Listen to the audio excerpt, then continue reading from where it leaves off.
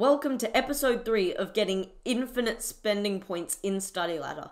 After literal hours of searching, I have finally found the best way to get unlimited coins, so hang around for that.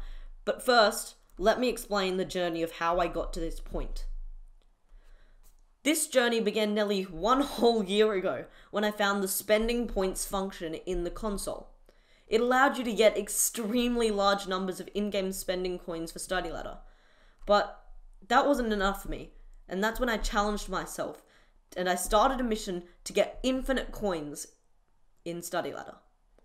After months of trying to no avail, a talented coder, Insane Miner, reached out to me with code he'd written. It gives you infinite coins. The code was amazing and worked 100% of the time, but it technically wasn't infinite coins. So, after loads of brainstorming, during a live stream, I came up with a new idea to get what I wanted. By overloading the system with a number too large to compute, it would surely register as infinite spending coins. And sure enough, in episode 2 of this series, by putting a ridiculous number into the console, I finally did it. I achieved infinite spending points. I'd finally done it, and I thought that was that. But then I came up with a crazy idea. An idea so stupid that I thought it could never work. But if it did, it would revolutionize the way to get unlimited coins forever.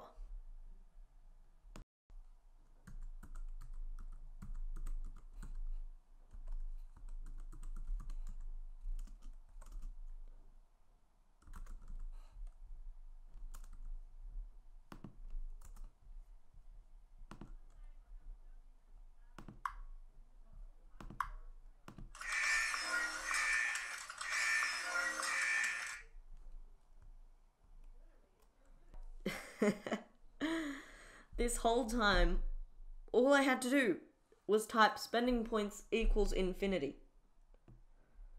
But no. How did I not think of that? Honestly, I do not know.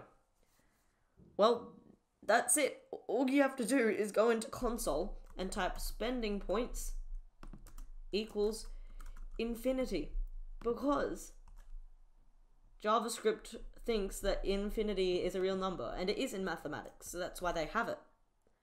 But your boy Zak was too dumb to figure that out.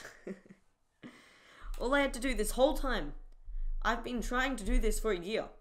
You do realize that a year is a long time. All I had to do was type spending points equals infinity, and it would have worked this whole time. And I can buy anything I want. And it would have worked this whole time. I can reload the page, infinity is gone, but I can spend as much as I want with spending points equals infinity. I keep the stuff. I keep the stuff.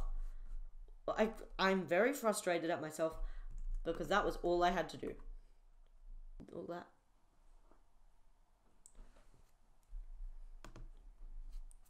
Also, bonus hack. If you didn't know, nan or capital N lowercase a capital N means absolutely nothing in the coding world or in JavaScript at least. So here's a cool trick. If you do spending points equals NAN and press enter, then your spending points, once you update it, so I will buy this bed here, It'll come up with a weird glitch thing.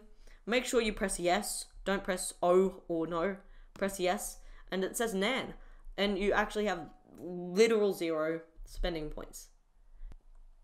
So, this is a bit of a different video from what I usually do. If you enjoy, make sure to like tell me down in the comments like what you think I could have improved on. Like and subscribe if you really enjoyed. And that's it.